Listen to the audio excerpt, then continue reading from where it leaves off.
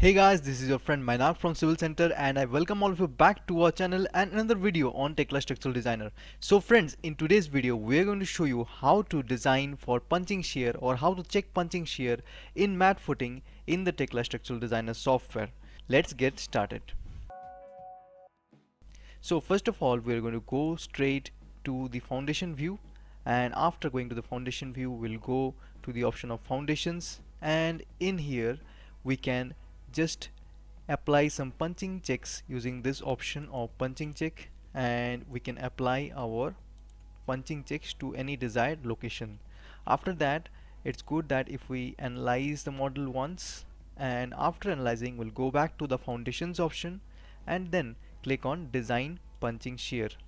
So after clicking on design punching shear you can click on this and then after clicking on this you can right click and then click on check punching shear.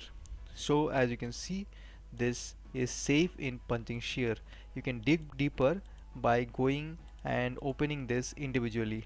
So friends this was the process of checking punching shear in mats or mat footing in Tekla Structural Designer. So friends if you want to see the video on which we have shown how to check the punching shear for slabs you can see that using the link which has been given here so that's all for today's video. If you want more videos related to Tekla structural designer you can comment below. Bye